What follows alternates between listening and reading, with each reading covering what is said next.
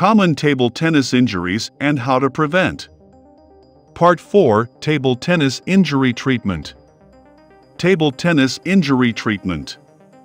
Lesions in tendons injury result from repetitive joint overload is often difficult for physicians because of the complex interplay between soft tissue anatomy. For the treatment, you need to ask for advice of physicians and doctors. I would say get surgery is the last option because our body has its own mechanisms to heal itself. Take time so your body can recover. However, when it takes a too long time, more than six months, you need help from conservative treatment. Operational management is considered after trying a conservative treatment but should be approached with caution as favorable results may not be realistic and may not return to the previous level of play. Here is some possible solution that may help you. Stop playing. If you have a wrist injury, it is imperative to rest your wrist. If the pain is really important, a removable thermoformed wrist splint can be helpful which is prescribed by a doctor. Resume gradually. To resume training, you must wait no longer to feel pain for at least a week. If you have elbow injury, you can play mainly by rotating your body, using mainly the waist rotation. Don't use too much elbow in your stroke, but generate the power from your body, called rotation axis. Practice the feeling, play close to the table avoid hitting hard. You can also use a lighter racket which will help. It is during this recovery that it may be wise to buy an elbow bracelet in pharmacies. Worn about a centimeter below the elbow, it can protect the elbow and reduces the shock. Knee strap. Knee strap is a good way to prevent knee injury in table tennis. Top players like Wang Hao, Zhang Jike often wear a knee strap. Far infra heat. When you have the tendon and shoulder pain problem which can last very long to heal, you can help the body to heal faster by increasing the blood flow. This will bring in the building blocks to restore the damage. Heat does this, and direct heat pressed against the injury site to a reasonable temp for 30-minute intervals is something to consider. So using far infrared heat can heal your pain faster. This method is effective for shoulder FIH heating and back FIH heating. Far infrared heat is effective at getting the heat to penetrate deep into the tissue to stimulate increased blood flow. Magnets also do this. There are many FDA-approved back braces that have a series of magnets in the brace to perform the same function as far infrared heat. Ice the elbow. You are hurt in the elbow after the training session? As soon as possible, freeze your elbow for a minimum of 20 minutes. The challenge, do not let the pain settle down. Ice cubes in a plastic bag do the trick first.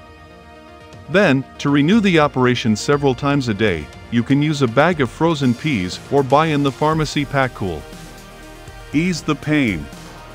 Different drugs can be less painful of paracetamol if the pain is important or local anti-inflammatory to be applied by massage. The gel diclofenac, the topical gel is often advised. Hydration and nutrition. Important, do not forget to hydrate yourself. A lack of hydration can indeed promote tendonitis, says Dr. Jacqueline Jan.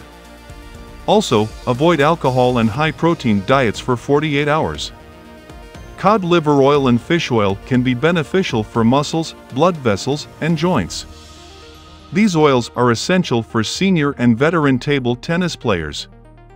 Using a good omega fish oil will reduce the risk of ankle and a knee injury, providing enough joint liquid lubricating synovial fluid. And if that does not happen? If the pain persists despite stopping table tennis, local care, and hydration beyond four weeks, or the pain is annoying in everyday life or prevents you from sleeping, it is best to consult a doctor who can refer you to a physiotherapist. This is the end of my research about table tennis injury. It takes me a lot of time to do the research. So I hope you share this article for the table tennis players who need this. See you in the next video. My name is EmRatThich, a table tennis coach in France. If you like my videos, please support me.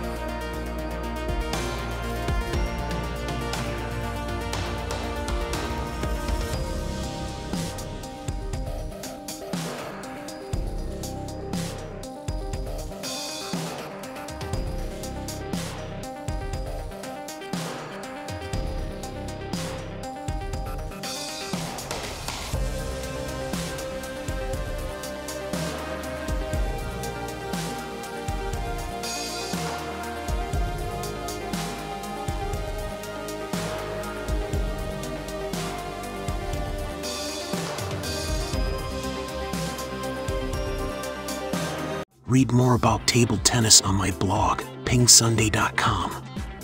Get free ebook and coaching advices. See you in the next video.